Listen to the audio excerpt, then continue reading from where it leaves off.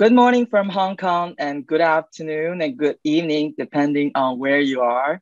Thank you for attending our webinar on artificial intelligence and intellectual property protection hosted by our Law and Technology Center at HKU Faculty of Law. I'm Haochen Sun. I teach intellectual property and technology law at HKU Faculty of Law. As all of you know, AI is radically transforming many aspects of our society, and IP protection of works and inventions created by AI systems has become a very important legal and public policy issue. Recently, IP offices and courts in Europe, the United States, and Australia have made decisions on whether AI systems can be protected as inventors Courts in China have also made decisions on whether works created by AI systems should be protected by copyright law or not.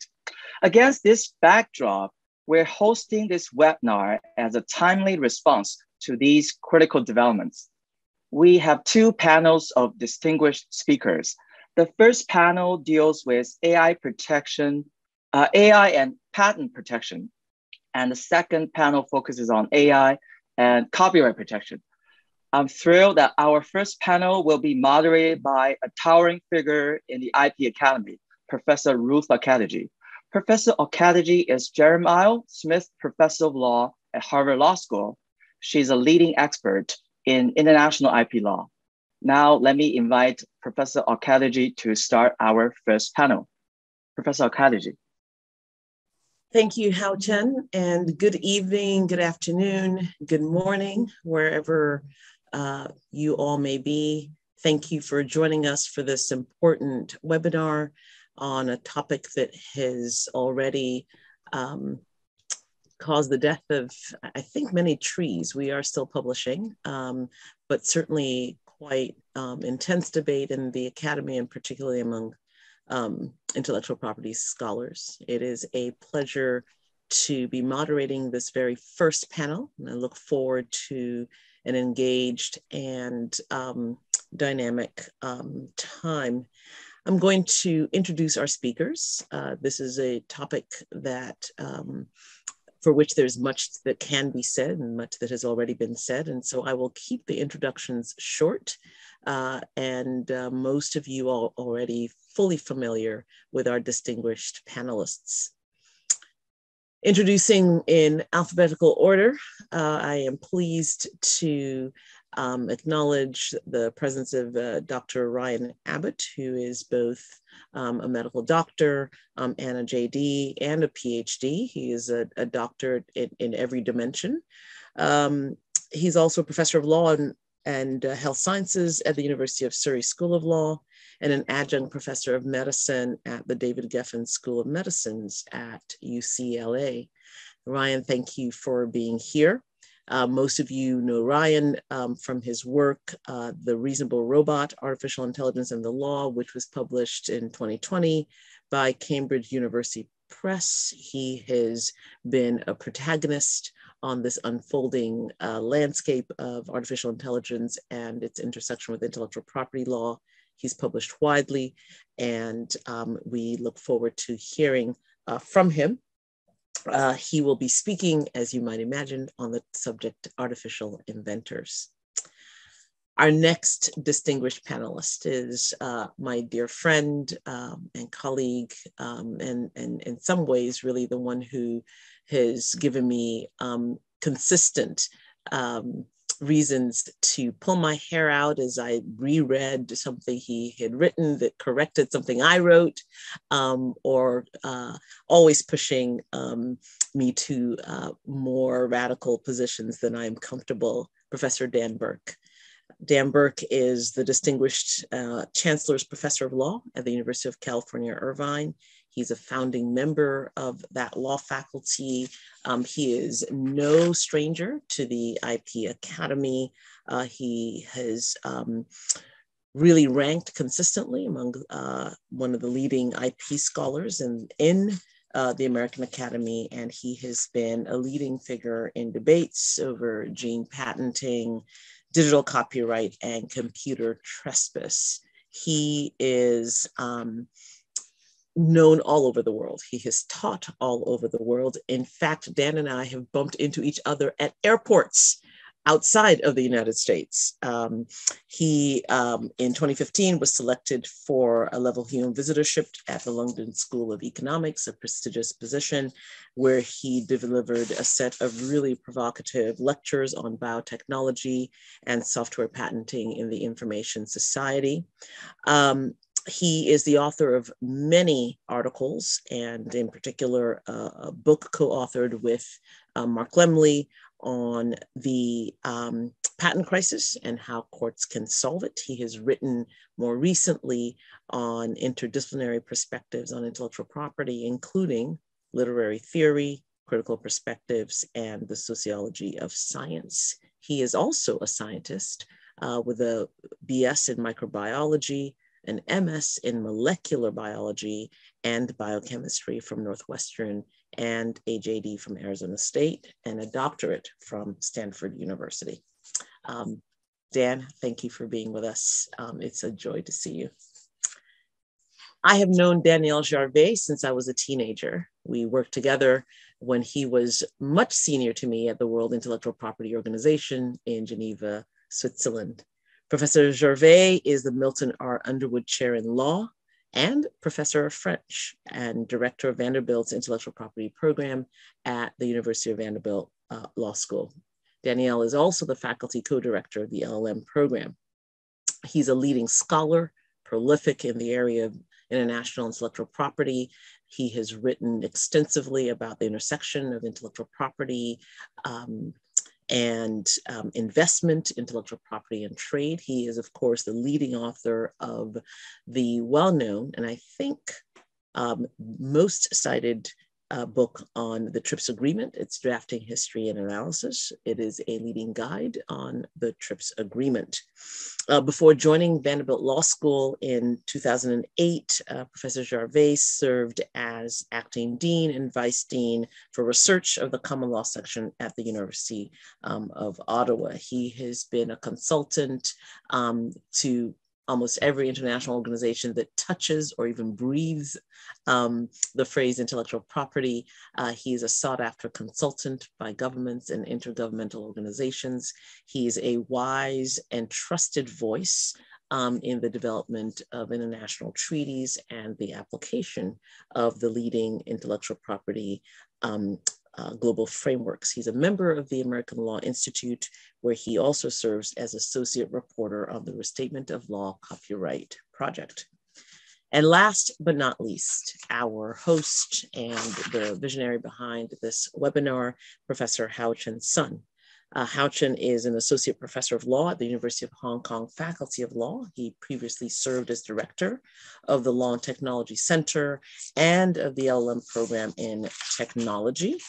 Um, and intellectual property law. He specializes in technology law, Chinese law, the intersections with global intellectual property um, regulation. His recent scholarship has focused on the theoretical and policy foundations of IP, including Chinese intellectual property law um, and the public interest. He has won numerous prizes and major research grants for his projects The deal with China's uh, reforms in the trademark law arena um, and in other areas of intellectual property. He has uh, a forthcoming monograph, Technology in the Public Interest, which will be published by Cambridge University Press um, in 2022.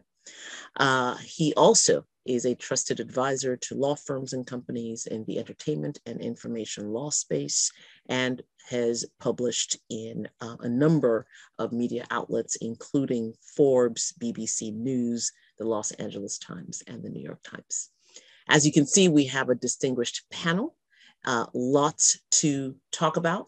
And I will now turn over to our very first speaker, Dr. Ryan Abbott. He will be speaking on artificial inventors. Each of our speakers will speak for 15 minutes. Um, as I mentioned earlier, I have the task of keeping them all um, on time and in line. So I will do that. Dr. Abbott, over to you. Wow, Professor Okediji, that was like the nicest introduction ever. I wish that I could just sort of go around and have an AI based on you introducing me as we go from talk to talk, but I think we should uh, discuss that after the, the event. Anyway, it's my real great pleasure to be here. And as Haochen mentioned, AI is doing some pretty cool stuff these days.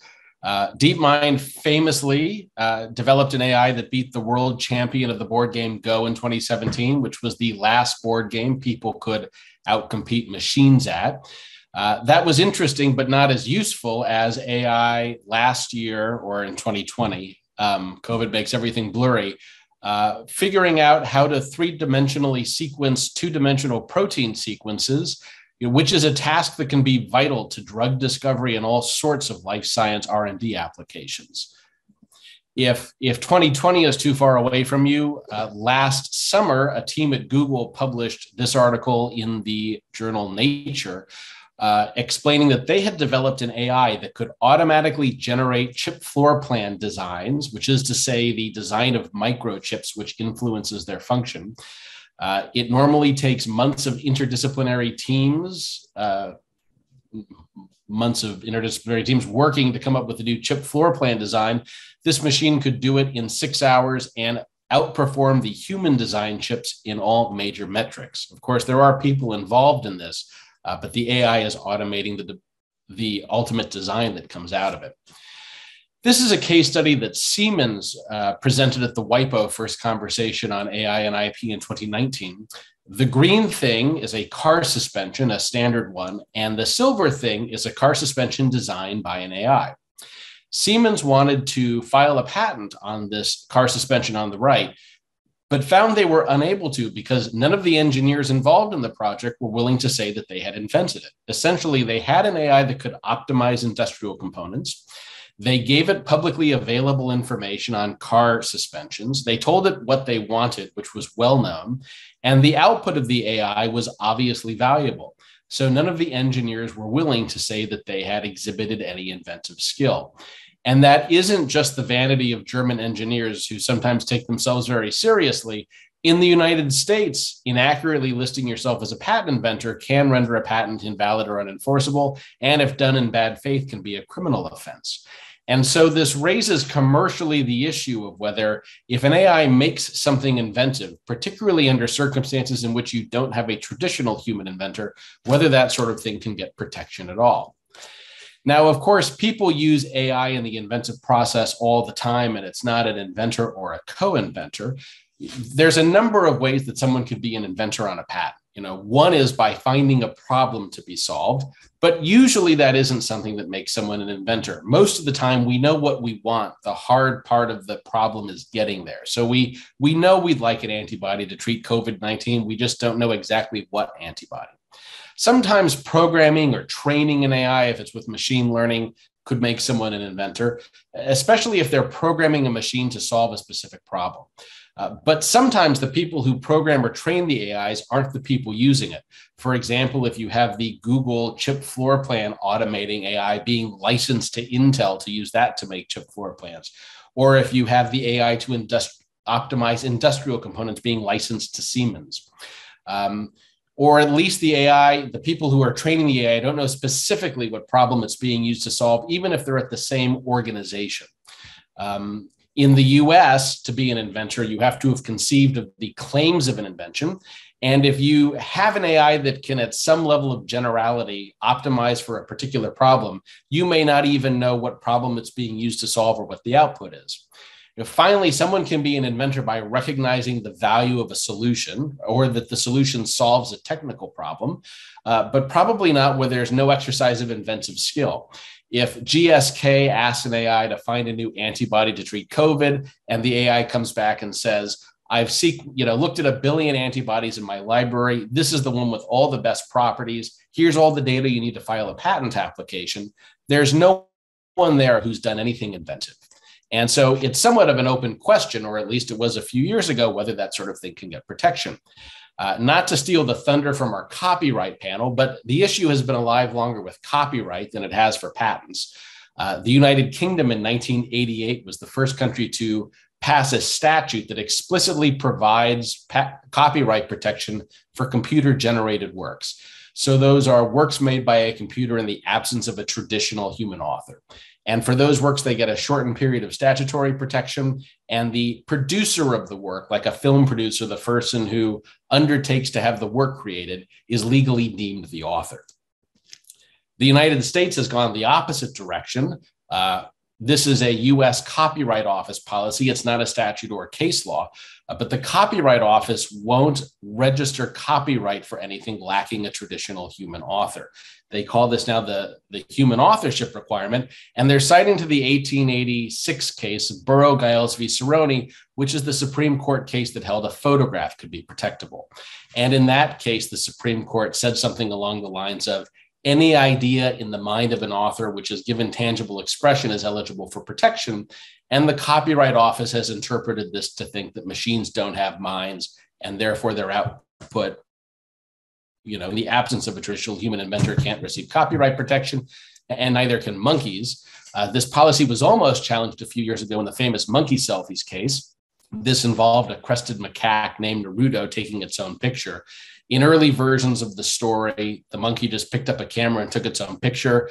Uh, people find this adorable, but it's not smiling because it's happy. Smiling is a display of aggression amongst macaques. So he is reacting to his own image in the camera and trying to intimidate that monkey. Uh, in later versions of the story, someone carefully observed the monkey and staged the photograph. But in any case, um, the person who owned the camera went on to try and commercialize it. When other people used it, he threatened them with copyright infringement. And the matter seemed to die down when the US Copyright Office clarified, well, you can't protect this sort of thing. PETA then sued him, People for the Ethical Treatment of Animals, in the Ninth Circuit in California uh, for copyright infringement, alleging that the monkey should own the photograph and they would help the monkey bring the lawsuit. That case was dismissed, but not based on the Copyright Office policy. It was based on standing. Uh, the federal appellate court said unless Congress is very plainly going to state that monkeys can sue under the Copyright Act, monkeys can't sue under the Copyright Act. And so that policy remains unchallenged today. You know, in some sense, people have been, as Professor Okediji mentioned, talking about this for a very long time. And people have claimed that AI can make copyrightable and patentable works for decades. You know, in some sense, it wasn't that important though with copyright because even though AI could write short stories or generate artwork or write movie scripts, all of those outputs were terrible. We're now getting to a place where artificial intelligence can make some of that stuff almost as well as a mediocre person. You know, for some of it, people can't tell the difference between AI and human generated works. And, and that's going to really change the dynamic here because it means that these works are going to have commercial value, whereas they really didn't previously. On the patent side, there was really no case anywhere in the world about whether if you had an AI generate patentable subject matter without a traditional human inventor, you could protect that sort of thing. Uh, there are laws in some jurisdictions, not all of them, that state inventors have to be natural persons. You know, largely though, to the extent that that was explicit in the law, it was done to prevent corporate inventorship. And whether a company could be an inventor is a whole other interesting set of issues and considerations, uh, but principally different from an AI. With a company, it can only act through human agents, whereas an AI, at least in the instances we're talking about, the Inventive Act isn't directly reducible to something inventive that a person has done.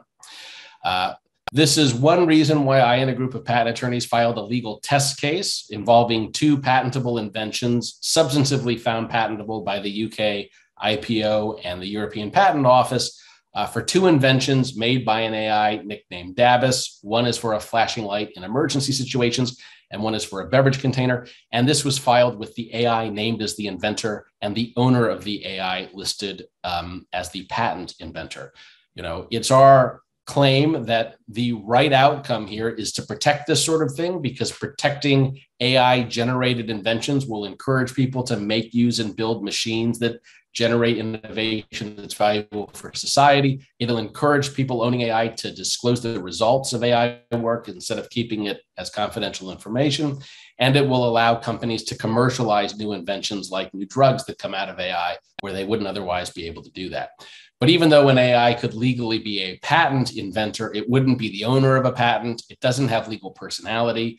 The owner of the AI would own the patent the same way if I own a 3D printer and it prints something, I own that. And the machine doesn't get title to it and then transfer it to me.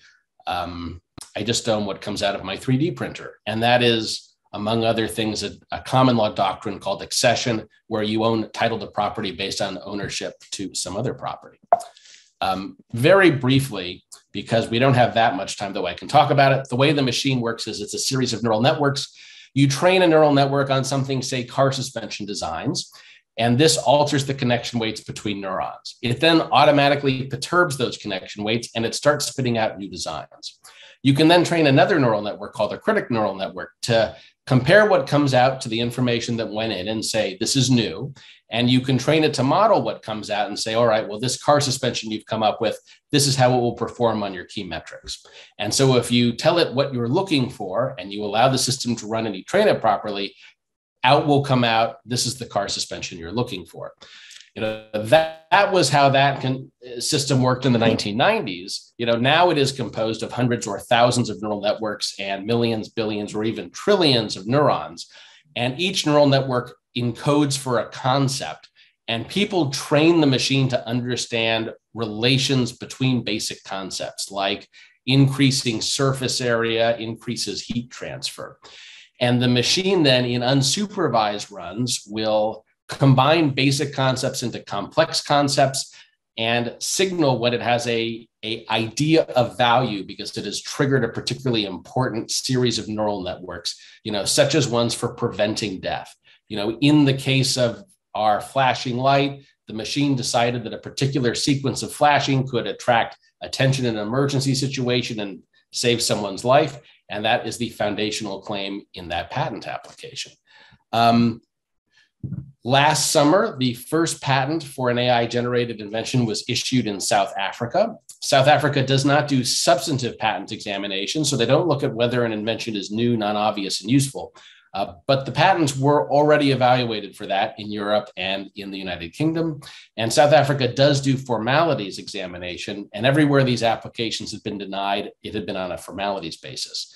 Uh, outside of South Africa, they were initially denied in 16 other jurisdictions, or sorry, it's pending in 16 jurisdictions, many of which it had been rejected from by patent offices. Uh, last summer, a few days after the South African acceptance, the Federal Court of Australia issued a 41 page reasoned decision why it is appropriate to protect AI generated works, name an AI as an inventor, and at least in our case, the AI's owner had the best claim of entitlement to the output of the AI you know, not to give the sense that the uh, cases have been successful everywhere. We lost our argument before the Eastern District of Virginia last year. This case is currently under appeal to the federal circuit. And in the US case, it has largely come down to whether literal language in the Patent Act could be interpreted to allow something other than a natural person to be an inventor.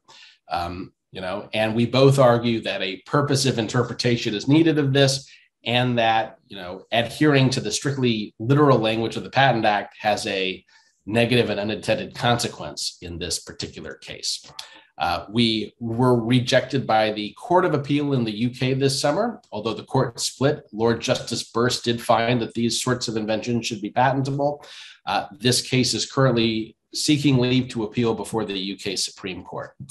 And the uk government partly explicitly in response to this case, has been running a consultation on, among other things, whether AI generated works should have copyright and patent protection, and is considering a number of options for this, um, including expanding the current laws around copyright or changing them to prohibit protection um, or following our suggestions in the patent realm. You know, similarly, India has just done a parliamentary consultation which recommended changing the law to protect this, and the president of South Korea recently announced that the law should be changed to protect AI-generated inventions. You know, one of the most recent developments was from the Israeli Patent Office, which has preliminarily rejected the applications. This is being appealed within the Patent Office, but found for for example, this doctrine of accession, which is to say, this rule of property ownership that you should own what comes out of your AI is something that is deeply supported by Jewish law, both in the Bible and in various other Jewish texts. It's also a concept dating back to Roman times. And so it's a very interesting interplay of really very traditional law uh, with issues of AI regulation. You know, very briefly, you know, that's a bit on subsistence of AI generated inventions. But as AI becomes ubiquitous and starts taking over for people in broad areas of innovation, you know, like repurposing drugs and effectively replacing your average researcher, it's going to change some of the standards we use to grant patents, like the standard of the person having skill in the art. And if you buy into the theory that one day computers are going, going to outperform us and replace us at everything, you know, in the far future, you know, one day machines will be setting the standards for whether something can get a patent. Uh, but we don't have too much time on that. You know, very briefly, Professor Okediji was kind enough to reference the book. And I think that this phenomenon of AI stepping into the shoes of people and doing human sorts of things is really interesting, even for people who aren't involved in AI in IP law. Um, and the fact that the law treats behavior by a person and behavior by a machine very differently, and that this can have unintended consequences. And the book essentially argues that in many areas of the law, this is the case, and we would all be better off as a society, and the law could better achieve its normative goals if we did less to distinguish between AI and human behavior. You know, very briefly as a final anecdote, the book was just translated into Chinese, which I was excited to hear, but less excited when I learned that the book had been translated into Rational Robots, The Future of Rule of Law by Ryan Albert. Uh, I got more excited when I learned that the book had been appropriately translated by the Chinese translator who was human and it was getting inappropriately translated back into English by my browser. So we're not quite ready to be made redundant, uh, but I do think we'll get there. And I'll, I'll stop at that. Thank you. Thank you so much, uh, Dr. Abbott, uh, for that um, really precise and uh, but also comprehensive um, review of both the state of the law and what is happening in various jurisdictions um, on this question, which raises, I think, important um, doctrinal and, and ethical and, and practical considerations. Um, and of course, has created a lot of conversation about the purpose of the patent system um, and the consequences of recognizing um, artificial um, inventors. We're going to move now to Professor Daniel Gervais. Daniel, over to you.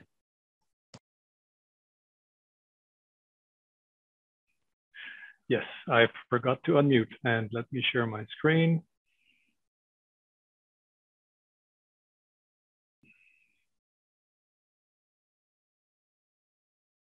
Okay.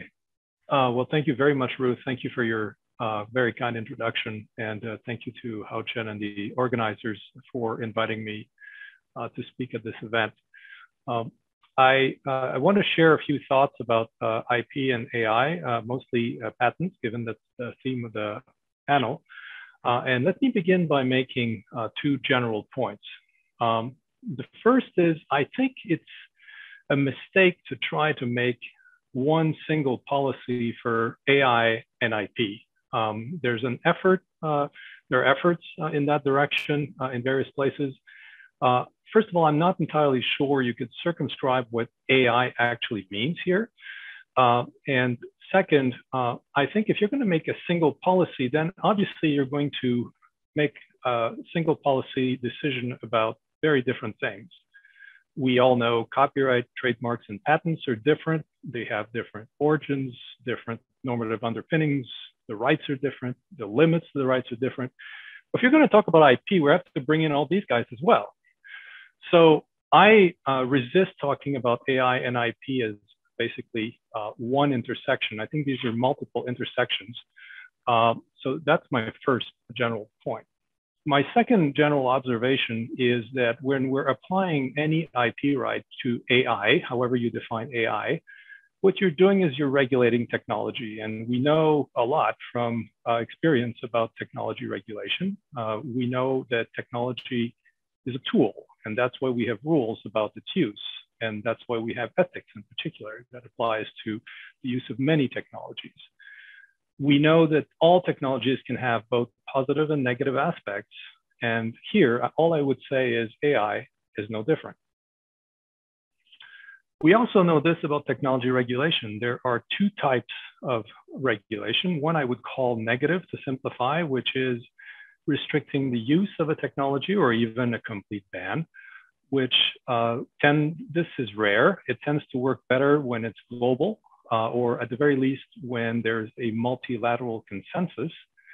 Uh, frankly, in most cases, it's impossible to achieve and then to enforce. So this is really not what I'm talking about at all uh, today. When we're talking about IP, we're talking about positive uh, uh, regulation in the sense that the purpose of using one or more IP rights in this space is to accelerate the development of AI. And positive uh, regulation as opposed to negative can be used differently in different jurisdictions. Not every jurisdiction has to get to the same answers. It does not require a multilateral uh, approach.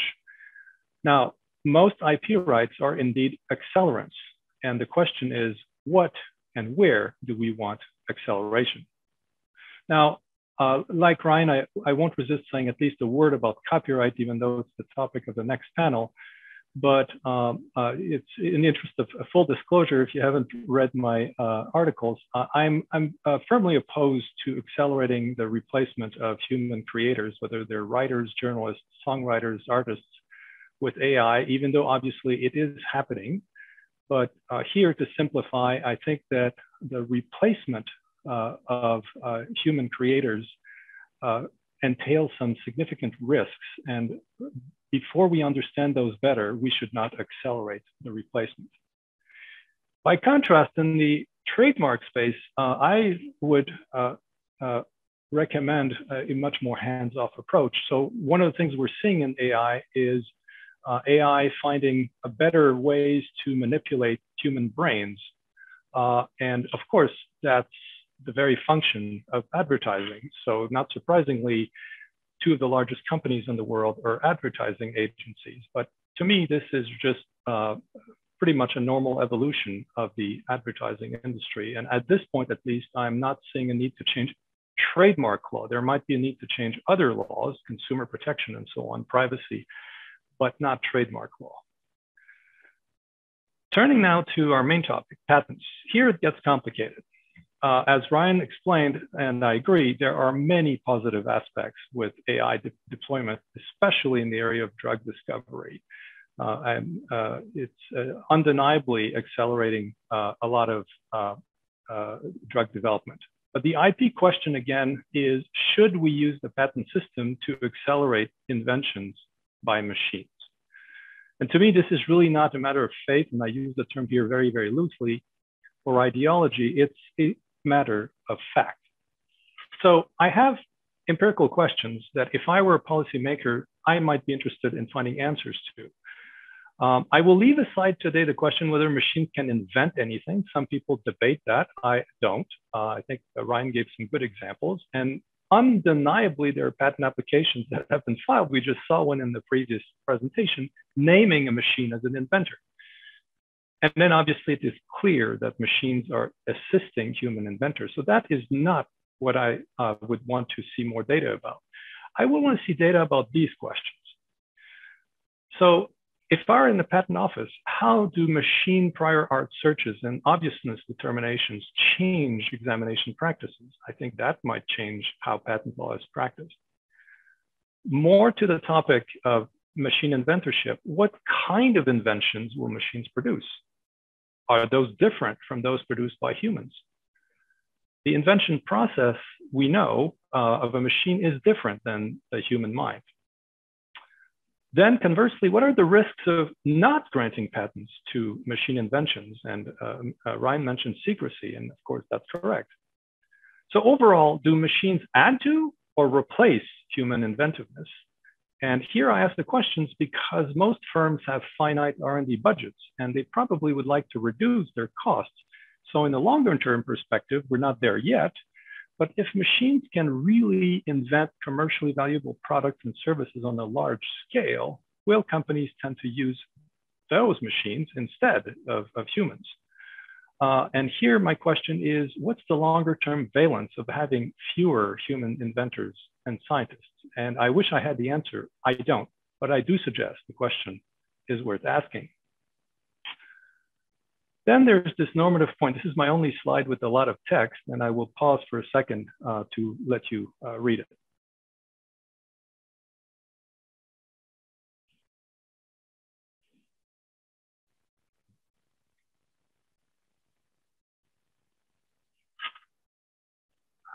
So this is a quote from um, Justice Brandeis' dissent in the very famous uh, INS case from the US Supreme Court, old case, but a case that uh, still um, manages to emerge uh, in, uh, in case law. Uh, actually, it happened just in 2021 again.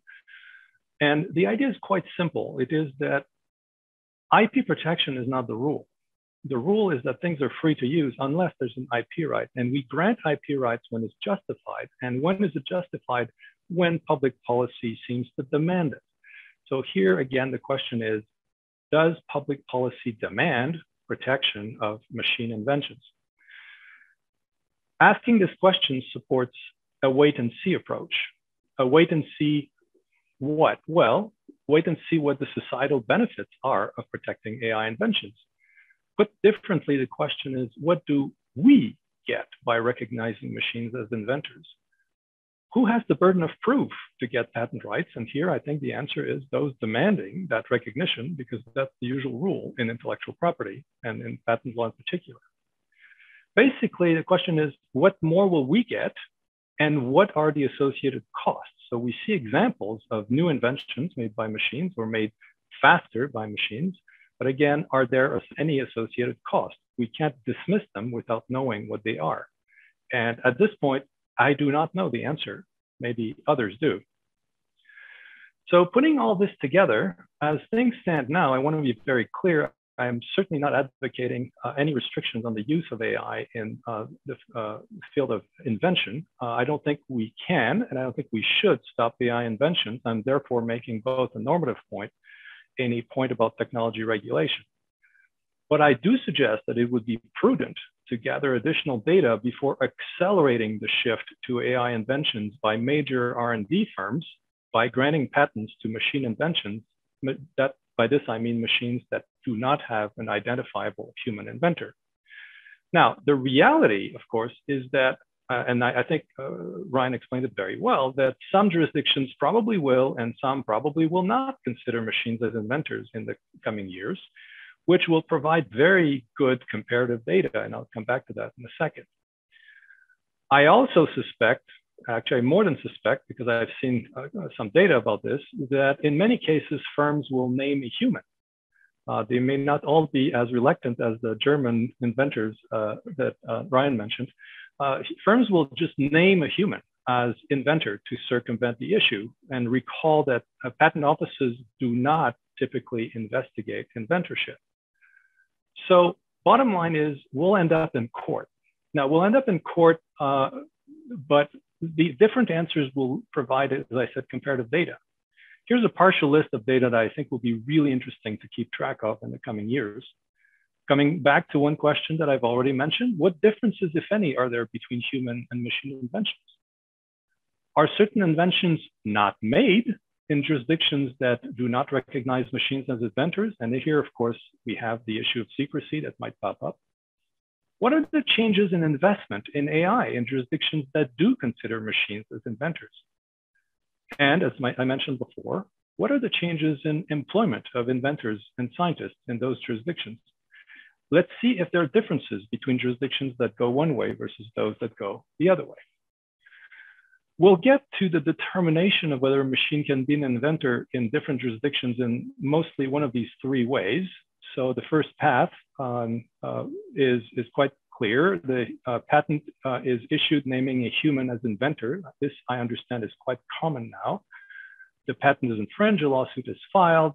But during discovery, which in the US would be normal part of litigation, you realize that in fact, the human really did not invent. And I don't necessarily mean this is a fraudulent claim. I don't necessarily mean there's a fraudulent intent, but really uh, you get to a point where you can argue that the human who is named did not actually uh, uh, find the solution to the problem. That inventorship will then be challenged and the court will make a determination. In the second path, the, the patent actually names the machine as an inventor. And uh, as happened in the US and other jurisdictions, the patent office refuses uh, to grant the patent. And that gets challenged in court. And then again, the court will make a determination. This is what's happening in the United States and elsewhere.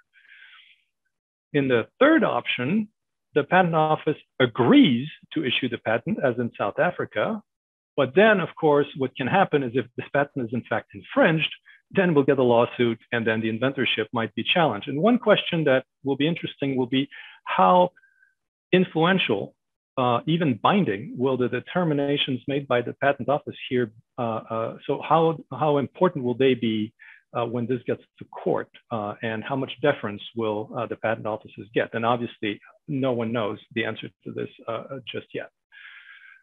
Now, uh, some countries are moving towards a legislative solution. Would this be better? Uh, definitely, it would provide more stability in those jurisdictions, and legislators are typically better equipped to look at societal impacts than courts. But given the uh, number of empirical issues that I've outlined in my brief uh, presentation today, I uh, suggest that it would be risky to cast uh, such a decision in legislative stone uh, as things now stand. So with that, I will uh, stop. if you would like to read more, I've these two things you can find online fairly easily. and then I will turn it back to our moderator. Back to you, Ruth. Thank you so much, Daniel. Really um, appreciate, and I'm looking forward to the questions and answers by the audience. Um, you have raised, I think, some important uh, qualifications um, around both the patent system and its categorizations as we know it today, but also um, the possibility that we can actually make intellectual property law by thinking first um, and not just inventing first. And that's, um, that's significant. Um, we will turn now to Professor Dan Burk, and uh, he will be speaking to us um, on the topic algorithmic bias in the coming patent system. Uh, Professor Burk. Okay, so uh, thank you very much uh, to the organizers for making this opportunity available, and thank you, uh, Professor Okediji, for the very nice uh, uh, introduction. Um, uh, I want to pick up on some points that Professor Gervais just made with regard to um, the regulation of technology. I think I think those are those are salient points. and, and he said something about about ethics and and the role of ethics. Uh, my friend at Oxford University, who teaches uh, and, and, writes in the area of information ethics, uh, Luciano Floridi, has been saying for a number of years with regard to AI, you know, that there are some questions that really matter. They're sort of existential questions, and there are other questions that don't matter. And and and the, the questions that matter are so pressing and important that we don't have time to waste on the ones that, that don't matter so much. Um, so I'm, I'm going to uh, hopefully pivot here to a, question that I think really uh, matters and is, is, kind of one of these existential questions, which is the problem of, of bias uh, in, uh, in AI systems. Um, and in order to address that question, uh, I think uh, it's good to have a couple of reminders for ourselves. Um, first, that you know we're talking about artificial intelligence, and that is a, a really unfortunate term. It's really unfortunate label uh, because there's nothing intelligent going on here uh, in any robust sense of that, uh, that word. That sort of um, uh, research, of course, has been done. It's been, been going on for decades uh, the so-called artificial general intelligence or, or GOFAI, good old-fashioned artificial intelligence. Um, it's been a complete failure. Uh, so we have nothing even remotely approaching, you know, the R2D2s and, and Commander Datas of the science fiction uh, movies and television shows. And there's good reason to think that we probably never will have. Instead, what we're talking about that, that uh, Professor Abbott uh, described to you uh, is a subset of that, right? Machine learning systems. And uh, even the term learning here makes me a little twitchy, right? Because machines don't actually learn. Um, uh, it might be better to talk about them as pattern recognition systems. Um, uh, although again, recognition might be a little bit anthropomorphic. Uh, probably the best label, I think, is that these are uh, statistical optimizations uh, software systems, iterative systems uh, which uh, Ryan described this to you a little bit, you know, which they, they fit a statistical model to a large set of data, uh, and then they uh, iteratively, uh, bit by bit, get a better and better fit to that data until they reach some, some optimal parameter. Um, and if we talk about it in that way, uh, we tend to get a, uh, away from some of the science fiction uh, uh that uh, sometimes permeates uh, some of the discussion about this technology. Um, this is mostly old technology, things like neural networks and that kind of architecture that's been around for a long time, for decades again. Um, the statistical models that are used have been around since the 19th century. So what's really new here, as you may gotten a sense from the presentation so far, um, is we have really fast processors and uh, computer memory is, is relatively cheap when the supply chain doesn't break down, right? Um, and since we live in kind of a uh, digital surveillance society, uh, huge amounts of data, very large data sets can be collected and stored in that cheap computer memory. Um, and then you almost have to have uh, these kinds of AI, machine learning, uh, statistical optimization systems to sort through all that data. Uh, but that's what's really changed is that we have got these large data sets and very fast processors uh, to deal with them. So uh, these are going to intersect uh, with intellectual property. Uh, and in particular, we're talking about the patent system. They're going to intersect with the patent system in, in three different ways that you've already heard a little bit about. So kind of, let's kind of collect those together. Um, first of all, uh, generating new creative or innovative artifacts, right? and Ryan Abbott gave you some examples of that uh, both in the copyright area and in, and in the patent area. Uh, you know, whether we're talking about generating new, uh, new texts, new music, uh, new uh, graphics and, and artworks in the copyright area, or new types of machines. Uh, Professor Gervais mentioned this is very central now to pharmaceutical drug discovery. Um, uh, so, so it could be uh, in, in the patent area, could be in, uh, in copyright, but it's going to generate the subject matter of intellectual property. Um, secondly, uh, it is itself the subject of intellectual property, right? Because we're talking about machines and software systems uh, that uh, are potentially subject to patents if they are novel and useful and non-obvious, um, and uh, could be the subject of copyright because copyright covers uh, types of software. Uh, so they themselves could be the subject of, of intellectual property. And then, as Professor Gervais mentioned, kind of in passing, and I want to focus on this a little bit because I think this may be one of the most transformative uh, intersections. Um, these can be used for the administration of intellectual property, right? So intellectual property uh, offices, patent offices around the world in the United States and elsewhere are looking actively at the use of uh, AI systems to assist examiners. Uh, Professor Gervais uh, made uh, some allusions to this, either to help them interpret claims uh, or to determine non-obviousness, uh, or maybe in some cases you can replace the examiner entirely, right? Uh, because as Professor Gervais points out, that would that would help your budget, right? Um, so uh, the same is true in trademarks, as he mentioned. You know, sort of searching prior art, looking for images. The machine may be much better at that than the than the human is. Um, and of course, if a patent office can do it and an examiner can use this, then uh, certainly you would think that a judge could do this. Uh, so this is going to show up in, in enforcement of intellectual property as well, interpreting claims and, uh, and so on. Right? Um, so those are, those are the, the three possible areas uh, that we uh, have under consideration that we want to think about. Now, a fundamental premise of my presentation um, which I don't think should be controversial, is that technologies embody and, uh, and reflect the values of the people who created them. And again, I think that's inherent in some of the things that Professor Gervais said uh, just a few moments ago. Um, this this is, shouldn't be a surprise, shouldn't be controversial, right? It's the whole basis for archaeology and for the humanities that we can take a statue or a piece of pottery or uh, a tool from another time and place and culture take a look at it and it tells us something about the people who created it what their practices were what their beliefs were what their expectations were. And the same is true of modern technologies including machine learning technologies right? Um, and when we use them in the context of intellectual property either to create intellectual property or to administer intellectual property systems um, uh, those values are going to be reflected right uh, so what are those values? What, what are those, uh, uh, those expectations and practices? Um, well, we're discovering that our values and our expectations and our practices in the intellectual property area uh, are, are kind of unattractive sometimes, right? Um, in particular, we're discovering, uh, I'm going to focus again here mostly on patent law, but this is true for, for other areas. Um, we're discovering that there is systematic bias, systematic racial and gender discrimination in the patent system. Um, and this is true in every jurisdiction. I'm going to talk mostly about the United States because we have the most data right now about the United States. Uh, but when we look at patent offices around the world, we find the same sort of thing. So uh, we know, for example, that uh, uh the number of female inventors, right, the number of applicants for patents uh, who are women um, is well below 50%, right? In the United States, in a good year, it might get up to 20 or 25% of patents have named a female inventor. Um, uh, and again, this is true around the world. Uh, the last data that I saw from the Germanic, uh, German-speaking countries like Austria and, and Germany, um, it was as low as 4% of, of, patent applications had a female inventor.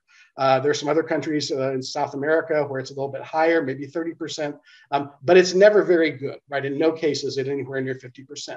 Um, we're starting to, to get data that's harder to do this empirical work, but, but it's being done, uh, showing us the same is true on the basis of race that inventors of color uh, in the United States, particularly uh, you know Latino or African American inventors, are hugely underrepresented compared to the general population. It's a very small fraction of patents uh, that have a, an inventor of color uh, applicant. Um, uh, and uh, you know, again, we're mostly talking about the patent system here, but we know this is true in other areas. We know this is true in copyright registrations. We know that it's true in, in trademark registrations, right? So there's a systematic underrepresentation and exclusion of uh, by gender and by race uh, in these systems. Um, when we uh, look at the progress of a patent application through the patent office, again, uh, we're, we're uh, finding data. I'll, I'll, start with gender uh, that indicates that uh, a patent application that has a woman as an inventor um, is more likely to be rejected. Uh, it's more likely to have its names, cl- the, the, the, the, claims are narrowed by the time it issues, if it ever does issue. And more often it doesn't issue. And we're starting to get the same si- kind of information again for persons of color. Inventors of color don't apply for patents very often. And when they do, they're most likely not going to get a patent. Um, uh, so, uh, you know, there, we see systematic exclusion at all levels. Um, the first uh, response you might have is to say, well, uh, that's because we don't have enough, uh, you know, engineers and scientists who are women and who are people of color. And that certainly is a problem, but it is not the problem that we are talking about. When you take similarly situated cohorts of uh, say female engineers or engineers of color, uh, and then uh, their counterparts, you know, who are white and male. Um, the the woman who invents something is uh, much less likely to apply for a patent. Uh, women use the patent system 40% less. Um, even we're talking about similarly situated cohorts, right? So, so it's not just a problem of, of having more people in the in the STEM areas in engineering and science. Um, it's that they don't use the system or they're being excluded from the system. And we're uh, learning historically why this came about and so on. Um, but this is a problem sort of across uh, intellectual property uh, systems. So, uh, you know, the embedded values in our intellectual property systems seem to include excluding uh, underrepresented uh, genders and, and, and persons of color. Um, and uh, the problem then that we that we are, should be worried about is if we start to incorporate AI into either creating new works uh, or administrating intellectual property, will those same biases show up in uh, that administration using the machine learning systems? Um, we have to be careful here with the word bias. I'm going to spend just a second to, to talk to you about that because um, uh, you know computer scientists and statisticians are very worried about bias. Um, but they're worried about bias in a technical sense, right? You know, that they're going to have uh, skewed samples or, or biased samples. Um, we're talking about social bias here. And again, we mostly want to talk about patents, but let me say, just give you an example from copyright, uh, kind of anticipating the next panel, and then it will make the patent uh, point very obvious, right? So some of you have seen this and heard about this. This is the uh, so-called next Rembrandt, right? Some computer scientists uh, trained a neural network on the digitized paintings of the Dutch painter Rembrandt, um, and then had the AI generate a new uh, image in the style of Rembrandt. We got quite a lot of publicity a few years back. Um, uh, art historians looked at this and they said, well, uh, this is an image of a Western European white guy wearing some period clothing. Why is that? And the computer scientist said, well, because Rembrandt painted a lot of pictures of Western European white guys uh, wearing that kind of clothing. And the art historian said, well, yeah, but he also painted a lot of pictures of women. Uh, why didn't you train the AI on that? Uh, and for that matter, he painted a lot of pictures of Africans and people of color. Why didn't you train the AI on that? Why didn't we have why didn't we get that kind of an image? And they didn't have a good answer. The computer scientists said that this seemed more typical to them of Rembrandt, kind of Rembrandtish. Um, so you find out that this picture has very little to do with Rembrandt. It mostly has to do with uh, the biases and implicit uh, expectations of the people who designed the system, curated the data, and, and trained the AI, right? Um, now, that's a copyright example, but uh, go back to my example of using AIs, for example, to help an examiner determine non-obviousness. If we know that uh, we have a history of uh, exclusion of women and racial minorities uh, from the patent system, and we then use those patents that were judged non-obvious to train an AI, all those biases gets translated into the standards the AI is going to going to start using. Um, uh, so this this will show up uh, ubiquitously across different types of intellectual property, uh, not just if you're trying to generate a picture of Rembrandt. Um, now, our friend Anupam Chander at Georgetown University said, well, uh, you know, humans are biased, and so AIs are going to be biased too. So let's not worry about where the prejudice is coming from. Let's just fix it, right? If we see something that's biased or prejudiced, look at the outcome and fix that. That's a perfectly good uh, suggestion, as long as you think that the bias that is exercised by machine learning systems in these kinds of situations is similar to or the same as uh, what you would see from a human. And in closing, I'm going to suggest a couple of reasons why I think that that may not be the case, right? First of all, uh, we know that humans uh, put too much weight or give too much trust to machine uh, made decisions, right? It's actually very interesting research. Um, humans are more likely to trust their own judgment over an AI, but they trust the AI over somebody else's judgment, right? You know, so I'm I'm smarter than the machine, but I'm pretty sure the machine's smarter than you. Um, so uh, the decisions made uh, using AI or uh, inventions developed using AI may get uh, more weight and more attention uh, than they're supposed to. Um, so that's one thing to be worried about. Final thing to be worried about is that we know that these systems are performative right? We know that uh, AIs uh, tend to reinforce uh, the assumptions that they are built on. Um, uh, we give lots of examples of that. And if that's the case, uh, then again, this is not a simple uh, type of prejudice that we uh, would, would see from humans. How do we solve that? I think Wendy Chun has the has the answer. We need to think about this as being more like uh, predicting the weather, right? We use uh, uh, algorithms to predict the weather. We don't think that that actually is the weather, um, and we need to develop the same kind of relationship with AIs if we're going to use them in these ways. Um, and so I'll, I'll leave it at that and look forward to the comments and the question and answer. Thank you.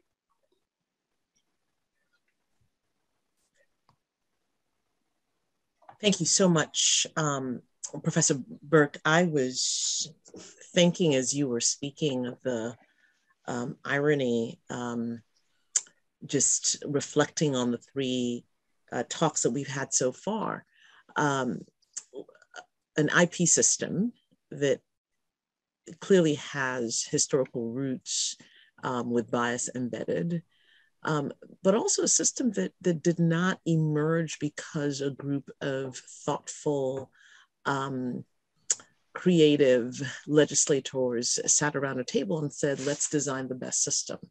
It was a system that emerged incrementally in response to whatever the felt social needs, exigencies, um, political pressures of the day and of the moment.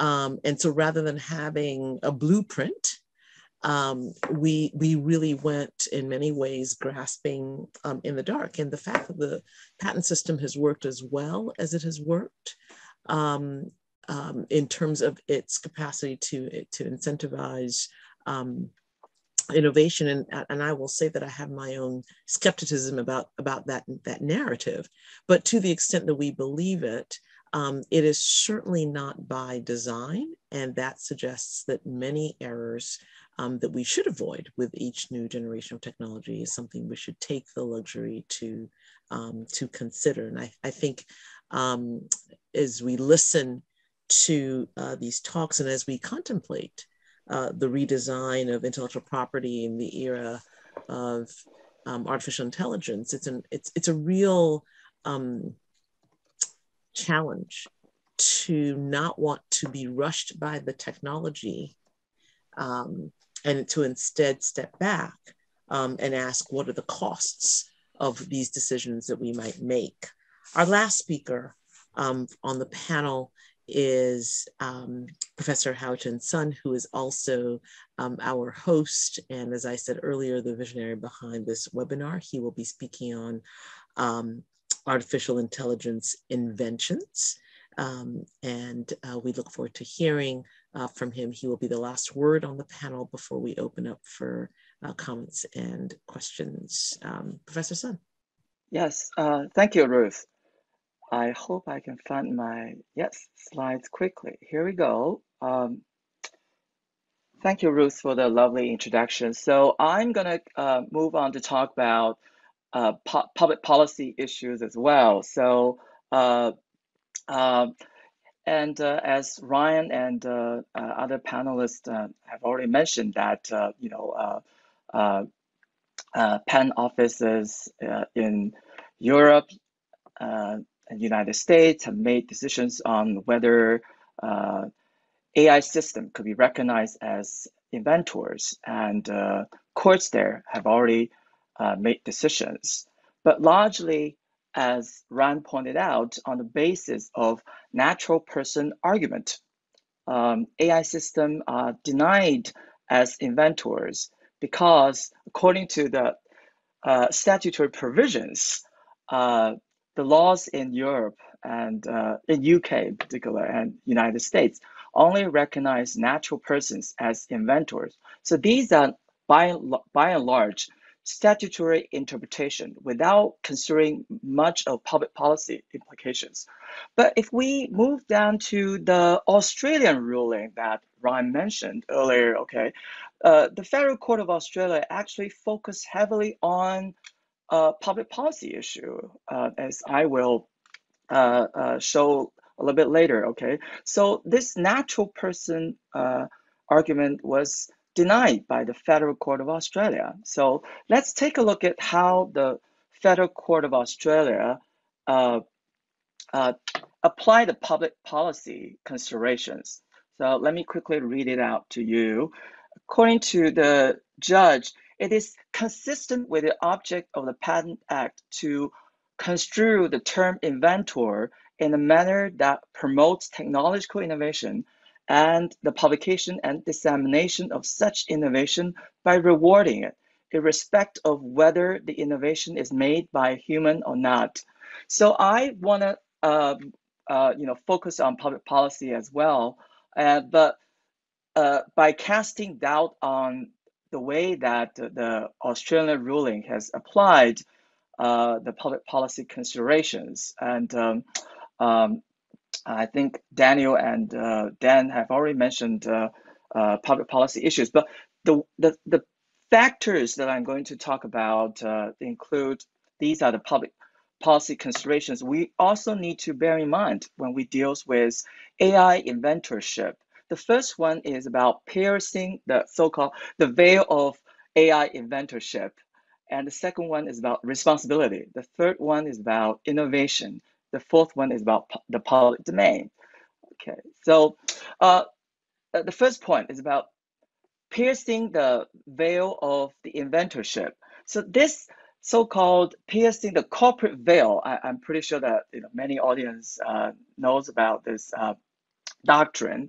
So this doctrine basically refers to a situation in which courts put aside limited liability and hold a corporation's shareholders and directors personally liable for corporation's acts and debts. So in ordinary circumstances, uh, limited liability uh, serves as a shield protecting um, a corporation's shareholders and directors. But the piercing, uh, piercing the corporate veil doctrine actually lifts it, right? And when circumstances arise, then it holds that uh, you know people behind shareholders and directors behind corporate deals will be held responsible for their decisions. So here is a, a typical decision on uh, this doctrine.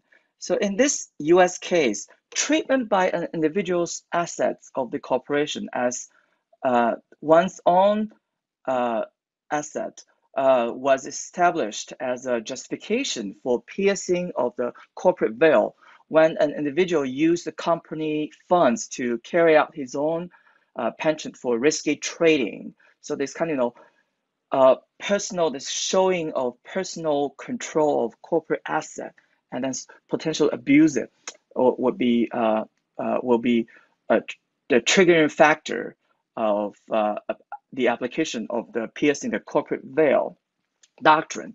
So I want to apply this doctrine to the, the AI and patent issues that we're talking about. So first of all, we need to recognize that the inventorship of a patent is inextricably intertwined with the ownership of the patent. So when somebody applies for a patent, he, he or she needs to point it out that he or she is the original inventor of the uh, invention concerned. And then when an invention is approved, right? So then he or she will be automatically recognized as the inventor of the invention. But according to the US, uh, according to the Australian ruling, um, while recognizing uh, DABUS as the inventor uh, of the two inventions concerned, um, then uh, Dr. Thaler, who is the uh, owner, programmer, and operator of this AI system, has been recognized as the owner of the invention, not the AI system itself. So this is a very surprising um, uh, outcome. But then I think that gives us the opportunity to apply the pierce the veil uh, doctrine to see that it is actually Mr. Thaler who is the owner of the uh, inventions as well as the uh, AI system.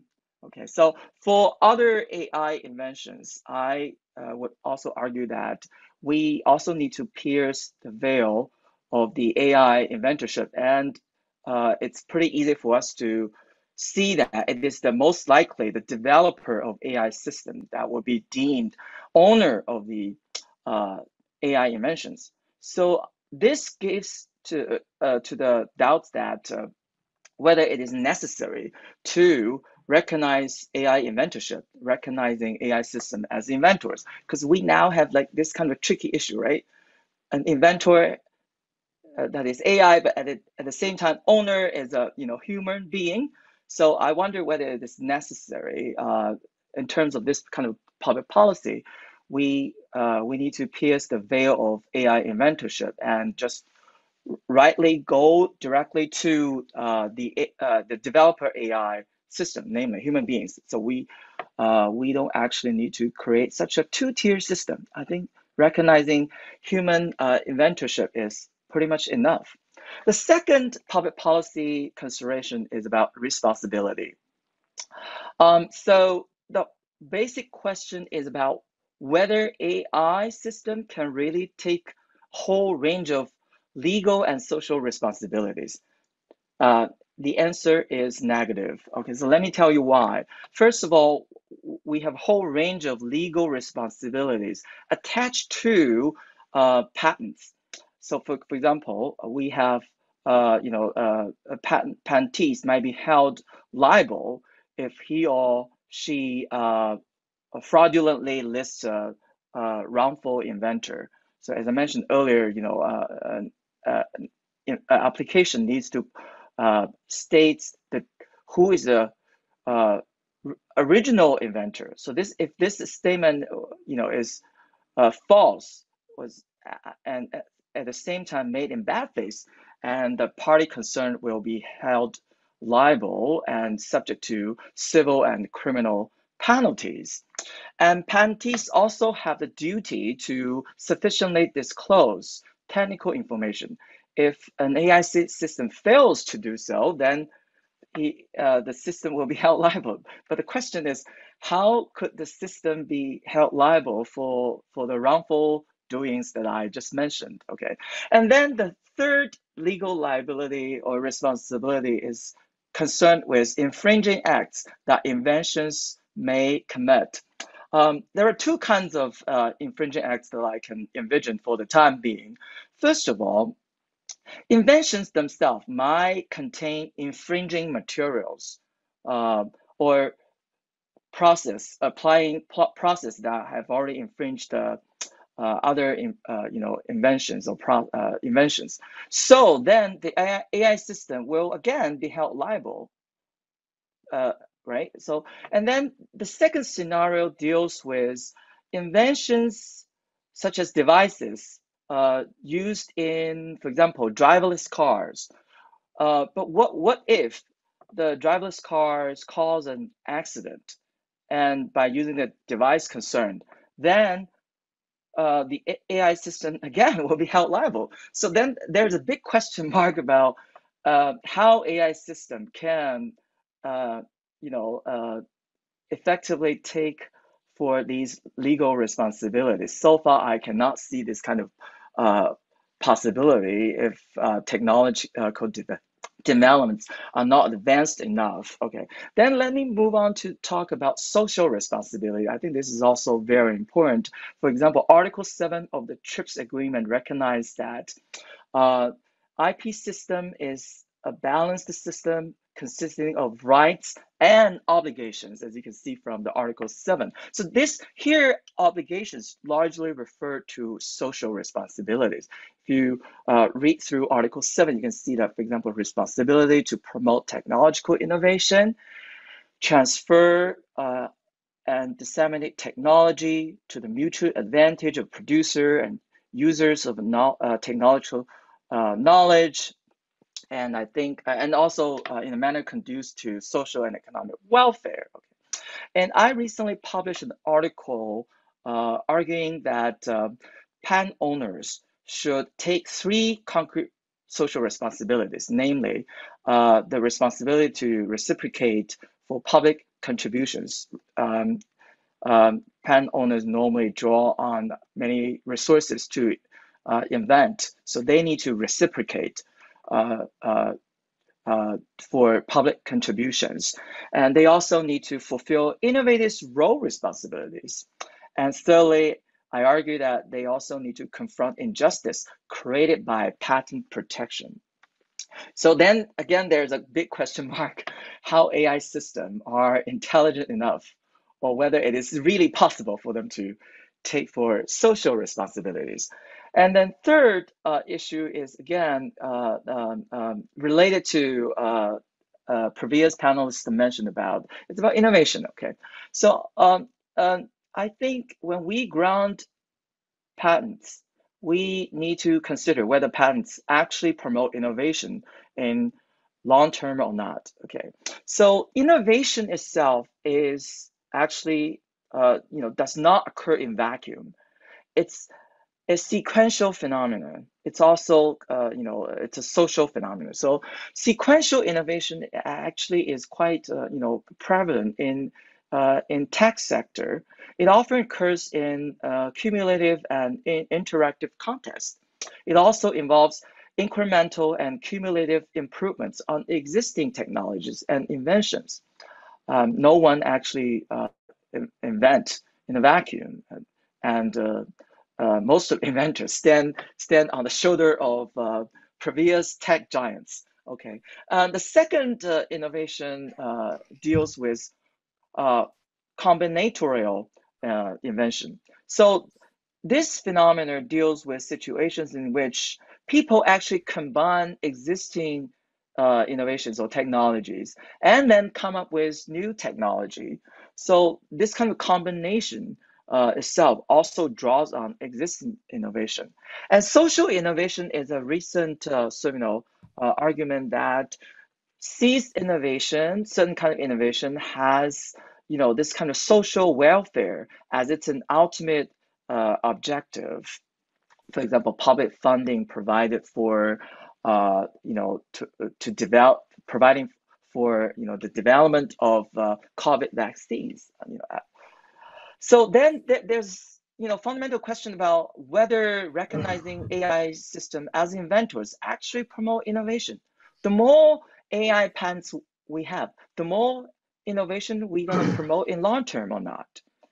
Um, I think chances are they're not, because um, as I mentioned earlier, innovation normally occurs in a cumulative uh, and uh, you know uh, in, incremental manner. So drawing on existing information uh, free of charge is very important.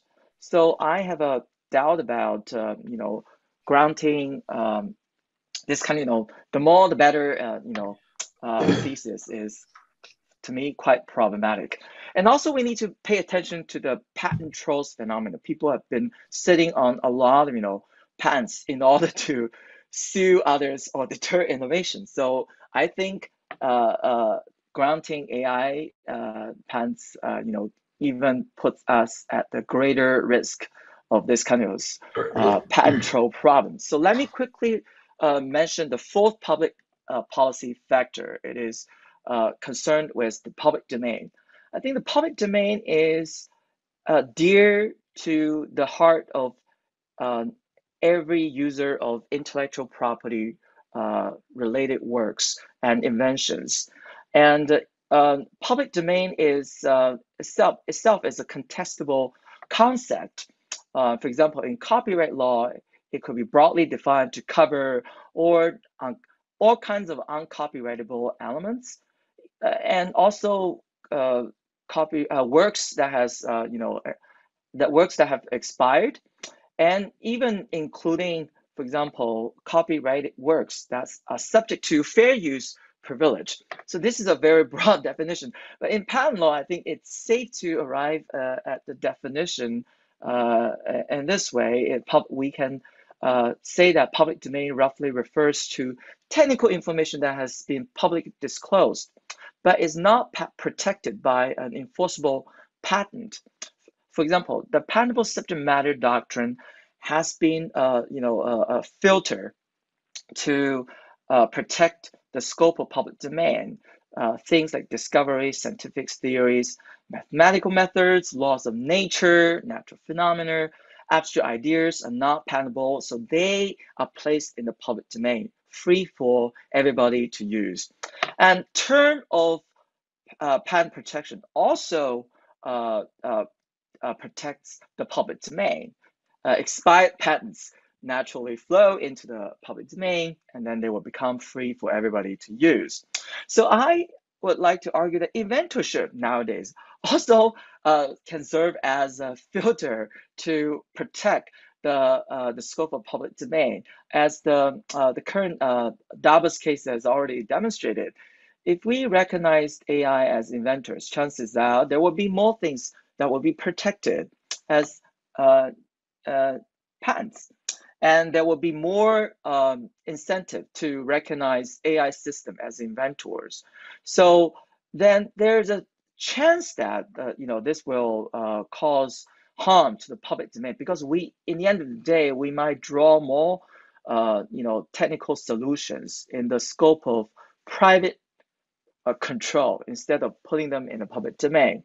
So uh, in terms of uh, uh, the, the public domain, I think we, we better say thank you and goodbye to AI inventors. And uh, the uh, another perspective is about the the data that AI system has been uh, Professor Sun, I just want to yes. let you know that that you um, should probably try to wrap up so we have some time yes. to, to get questions. Thank you yes, so much. I, You're the host. wrapping up. Yes, but uh, I will be you. keeping keeping time. Okay, thank you so much. So I, am wrapping up. Um, so the public domain, uh, the issue is about uh, AI systems have been heavily drawing on public domain data. So if we protect AI inventions, chances are that again we are uh, putting uh, you know uh, you know a lot of technical issue uh, information in into private control. And then there's also uh, you know a chance that uh, um, that will harm sequential combinational and uh, social innovation. Thank you very much. Sorry that ran out of time. Thank you so much um, for that rich presentation Thank you so much, all of the panelists. If you would turn on your videos, if they're not already on, there are questions in the chat. Um, but I wanted to give at least one opportunity to the panelists each uh, to respond to the views of each other. Uh, these are not uh, consistent views. There's some um, areas of marked tension And I think it's important to at least um, allow the panelists to um, engage with one another and perhaps reflect or respond to some of the claims made in the other presentations. So I will begin um, probably with uh, Professor uh. Uh, you actually had a question put to you uh, by Professor Sun um, and um, others in the chat. So let me just give you a, a, minute and a half each to each of the panelists, and then we will take some questions from the Q&A. Oh, thank you. So the the question is about um, WIPO and whether WIPO should be uh, recommending uh, one size fits all or some other type of solution. Uh, obviously, based on my presentation, the answer is, is no, um, because uh, first of all, as I said, I, I don't think you can put IP in one bag. I think IP is a lot of things and they need to be dealt with differently. Um, and, and secondly, I think without empirical data to make or without enough empirical data, at least from my perspective, I think it's very early to make these calls, but I think WIPO has been prudent. They've uh, organized conversations about AI and IP, which I believe is the first time they've used this, uh, this term uh, in, uh, in the, at least a long time, if, if not uh, ever. Uh, we're having the fifth WIPO conversation in April. The, the first one three years ago reflected the questions in the one of the papers I mentioned, my big data and IP paper. Um, now they've made quite a lot of progress. I think that policymakers from all the WIPO members uh, who attend uh, have a much better understanding of the issues. Uh, but of course, the, what's happening at this point is that courts are being asked to make determinations, and the court can't say, "Well, I don't have societal empirical data, so I'm gonna." No, the court obviously has to make a decision based on doctrine, based on its own policy appreciation, and so on and so forth. And that's that's why we're going to get different answers in different jurisdictions because uh, the doctrines are fuzzy and the judges see things differently. Uh, the final thing I will say, uh, so it, when when Haochen was speaking, I was uh, struck by um, uh, his emphasis on uh, responsibilities and development. So I, I would certainly think that it's not too controversial to suggest that the benchmark here should be human development, um, not technological change qua technological change, not more stuff qua more stuff. Uh, and I think uh, that to me is the benchmark. It doesn't mean it's easy to figure out what human development is, but at least uh, it's not just change. Um, uh, and uh, so I think I I think there's there's another conversation we should have uh, based on that. Perhaps another webinar, or even dare I suggest a, a real in-person conference someday uh, about that specific issue. Thank you. Yeah, I, thank you so I, much, uh, Professor Burk. Go ahead. Well, so I, am not sure that this is this is a, a, a, point of tension, right? I, I, just really want to subscribe to a couple of the points that uh, Professor Gervais made and, and underscore them. The, the first one being what, what I call the Kastenmeier rule, right? You know, uh, Robert Kastenmeier was for many years a very distinguished member of the American uh, Congress, House of Representatives, chaired the courts, uh, the, the, the Committee on Courts and Intellectual Property. And, and he always said, you know, if somebody wants to expand intellectual property law, it's incumbent on them to come forward with the data, come forward with the proof that that needs to happen that needs to expand. Um, and I think, I think that's, that's exactly the right posture. Um, and our friend Reto Hilty at the Max Planck Institute in, in, in, Germany, in Munich, has been pointing out for a number of years that we have absolutely no indication at all, no data at all, indicating that there's any underinvestment in the use of AIs or the development of AIs uh, to produce these kinds of uh, you know works that, that they've been producing. If anything, we're probably overinvesting, right? Um, so if somebody wants to wants to expand intellectual property law to include uh, AIs as inventor, it's really incumbent on them to come forward with the data in exactly the way that Professor Gervais is talking about uh, before we make that kind of move. So I, I, I wholeheartedly subscribe to that. And the second part of his talk that I want to very wholeheartedly subscribe to and underscore um, is this, this uh, issue of human development, right? Uh, there's a great book that's out on, on uh, artificial intelligence and art. Uh, and the author says, I think very trenchantly, says the question is not whether an AI can be creative. That's the wrong question. The question is, what does it mean for a human to be creative in the environment that we are creating you know, surrounded by uh, by these types of, of uh, machine learning systems. And, and Ryan mentioned a little bit of that towards the end of his talk. Um, that's really what we need to what need to be talking about. And I, I, said, you know, there, there are important questions and unimportant questions. I think Professor Gervais has identified there the important question, right? As you know, how do you have human flourishing? How do you have human creativity uh, in the environment that we're creating? And then once we can answer that question or get a sense of that question, then we know how to regulate, right? Um, and that's that's the order in which we need to proceed. I guess I could chime in here, although I think we only have one more minute, so I'll, I'll try and make three points in one minute. Um, on the white you can have point, your you know, full think, 1.5 minutes. Excellent. I, all right, I can speed it up. I think WIPO is absolutely doing the right thing by convening stakeholders and getting them to talk to each other. I mean, of course, WIPO doesn't say, here's a new treaty we're all going to sign. Uh, and I just saw we got an extra 10 minutes. So now I'm going to talk much slower. Um, you know, WIPO has to work through consensus, and consensus is very difficult to achieve and impossible to achieve when really all these jurisdictions haven't made their own minds up about what policies they want to pursue. And as with many areas of international harmonization with IP, different countries have different interests. So, you know, the UK is an IP exporter. It is, you know, according to its industrial strategy, at least trying to become a global AI superpower not every country is an IP exporter and an AI global superpower. And so protection of AI generated works, you know, as a policy matter may very much depend on what jurisdiction you're in.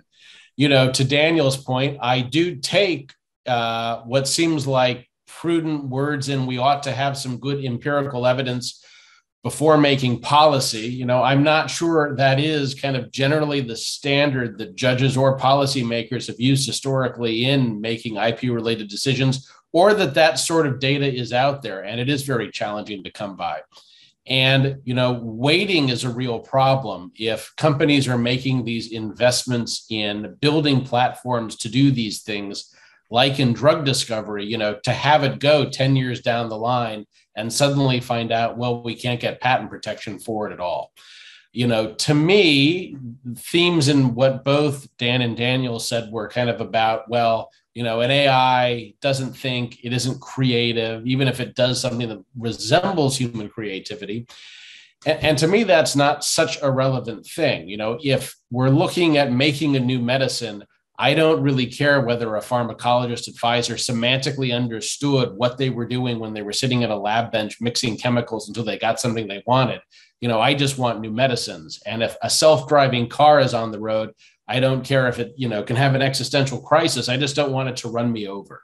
And, and, in part that, you know, this does take us back to, well, what really is the purpose of the IP system? And I think that varies by jurisdiction too. You know, in the US and UK, I think there's much more of an incentive mechanism where, you know, a lot of these really do depend on significant investments for commercialization, not just discovery. And you know, when I'm in France and I talk about this, people seem horrified by the idea that an AI could be an author, and this is, you know, you know, we have copyright to protect authors, not to protect Warner Brothers and you know Penguin Books. But uh, I'll leave it at that for now. Thank you so much. Um, I, I, think this is clearly um, an issue that that requires um, much more time than we have. Um, something that that no one has really um, I think put squarely on the table is is is what Ryan you alluded to. I, I think we have to draw a distinction between our theories that justify IP and the what we are really this panel has delineated as the central focus um, of innovation, and that is human flourishing. And part of the challenge is that we, certainly in the utilitarian mode, we've assumed that you know the the greatest output for the greatest number is always the mode um, by which we we should measure um, IP, which explains, at least from the U.S. perspective, why we do grant these patents without any serious question or inquiry about um, the impact on human welfare. Um, um, you know, the, the, my good friend Margo Bagley would say the morality question. Um, and perhaps to Professor Gervais' point, part of this is saying if we are going to redesign the system or expand the system, um, not only do we need data, but we need to think about the consequences of that Um, there are uh, there's one question that I thought was important to, to pose to, to all of you and to anyone who wants to answer this. But Vince asked, why do we have to have either or? Um, both AI and humans in practice um, innovate together, um, and innovation can occur um, without either, right? Um, you know, and and so why why do we have to choose? Um, uh, anyone want to respond to that? Daniel? Sure. Um, well, it's a good question, and and no one is suggesting I think either or. Um, what uh, so we have patent doctrines that are pretty clear when they're co-inventors.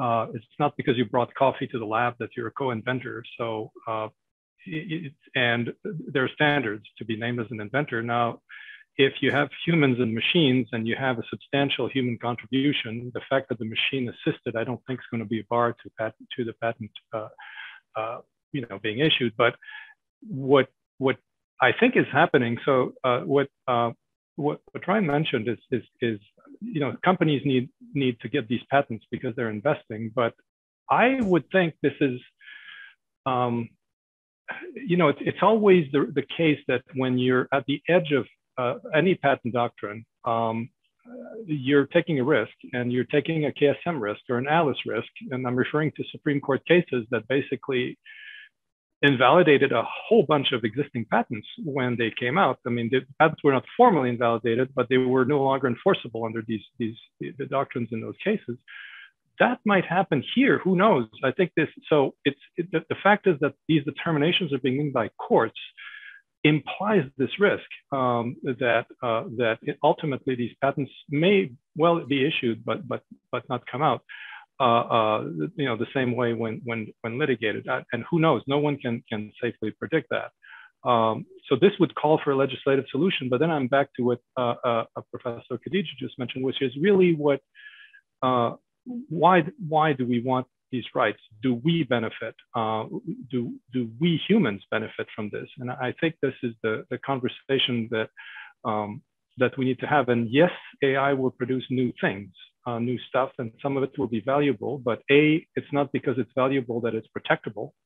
Uh, and uh, second is what are the costs associated with having um, these machine-made inventions on, you know, on a more, uh, let's say, uh, uh, societal scale. And of course, I'm using shortcuts here. Uh, so I, I think uh, we're, we're going to have to work on this. I think it's the role of scholars to try to get as much of the data as possible, to analyze a lot of the data. And as uh, Professor Burk was, was saying, I think the idea of um, things like bias and so on, we really need to be very, very careful because once these things are they're like self-driving cars. Once they start going in one direction, uh, they're harder to stop. Speaking of that, there are two questions that I will raise, um, one to Professor Burk and the other to um, Professor Burk and Professor Sun, and then one to Dr. Abbott. Um, so Professor Burk, uh, someone asked the question uh, whether it might make sense to create a new class of inventorship to avoid some of the concerns that you and Professor Sun um, have highlighted and also Professor Gervais. So um, this is um, Ching Kit Chow asked whether it's practicable to create a whole new class of inventorship for AI, essentially a sui generis um, uh, model with its own rights, protections, responsibilities on top of the existing system. So I'll uh, put that out there. And then um, uh, Dr. Abbott, someone asked um, early, uh, Eric Shattuck wanted to know, um, many inventive AI systems are used under licensing agreements and, and what would you suggest or how would you suggest the law address the more complex relationships when determining ownership and responsibility over outputs. So uh, a minute each, please. Uh, Professor Burk, Professor Sun, and then Dr. Abbott. So uh, again, as, as I said before, as Professor Gervais talked about in, in his presentation, um, if somebody wants to expand this, the, the ambit of intellectual property law, uh, you need to come forward with some pretty uh, compelling data that we should do that. So if we're going to create new classes of inventorships, whether that's joint inventorships with machines or whether that's uh, AIs by themselves, you know, we, we really need some compelling reason to do that. I see absolutely no compelling reason to do that, right? Um, we know from the sociology of, of, of, of technical work, um, humans use tools, right? You know, if I'm going to build a machine, I'm going to use a wrench, I'm going to use a screwdriver, I'm going to use a power drill. Uh, if I'm going to do laboratory work, I'm going to use a centrifuge, I'm going to use uh, laboratory equipment. Um, uh, humans are always in this network of socio-technical uh, creativity, right? Um, we don't think that my centrifuge or my wrench or my screwdriver is a co-inventor. Um, you know, uh, and so the, the question we have to ask is, as you know, as we add new actors, new actors into this network of uh, humans and, and technology, um, again, fo- we focus on the humans because that's what we care about. Has the human made enough of a contribution? Has the human uh, you know, been important enough in that network of, of activity um, to be named an inventor or not. Um, uh, and so, uh, you know, if we're going to create new classes of inventors, we need some reason to do that. But we've certainly never done it before, and I see absolutely no uh, evidence that we need to do it now. I'll try to answer five things in one minute. I think this is why artificial intelligence is exactly the right term for this phenomenon and why it's very different, at least in some circumstances, than a centrifuge. Because the AI is doing the thing that used to make a person an inventor right? You are now going to the AI and saying, out of your library, pick the antibody that treats this disease. Here it is, right? That is human like behavior, whether or not it knows what it's doing. The output is something that a person would generate. And why we shouldn't have two systems of ownership, because whichever is more efficient at generating the thing that benefits all of us as a society, that new medicine, you know, is something that we shouldn't tell a company, well, you can't use an AI to make a medicine because you need a patent. Go to people, even if they're slower and more expensive and worse at making that. Um, you know, and to Dan's point on, well, to, to Daniel's point first on the cost of granting more protection, um, you know, that works in both directions. If if we are not going to have AI being used in R&D in a way that optimally provides social benefit because we are under protecting its output, then that has costs too. And I do agree with him that there is an empirical answer to this question, but it's one that is very difficult to answer. And, you know, as we're redesigning patent law, you know, or IP law, we might think about that across the board. You know, finally, to give an example from Dan's point, you know, we have historical biases in the patent prosecution system. We have AI that, you know, if left to its own devices, gets built in with these historical biases you know, being aware of that and having appropriate governance mechanisms and having multidisciplinary teams working on these things, you know, maybe an opportunity to have AI, you know, as part of decision making to correct bad decisions being made by human examiners, or at least pointing out that they are, you know, giving disparate weights to different sorts of applications. So, you know, AI may, you know, continue ex- current biases. It may also be a tool for removing them if done properly. I, can see that that we are waking up and heating up and and um, engaging, but our time for our panel is up. I'm going to leave three questions on the table that I think the next panel, uh, our copyright panel, um, uh, can uh, likely will will will address. Um, someone asked the question um, that I think is is important about the constraints of the international IP system, um, particularly with duration. Um, wondering, well, how do we if, if we simply um, add AI as an inventor, then um, do we open up the, all the, the, the full panoply of rights and privileges and power um, on the global scene that um, inventors and owners currently have. Um, so, you know, that's a question. Uh, someone introduced also uh, an issue about equity. Um, one of the challenges, of course, with um, artificial intelligence um, is both massive data sets to train and also uh, computing power, which many inventors, um, at least non-corporate inventors, uh, will not have equal access to. And so back to Professor Burk's point, are we embedding existing or creating new inequities um, in, in the patent system?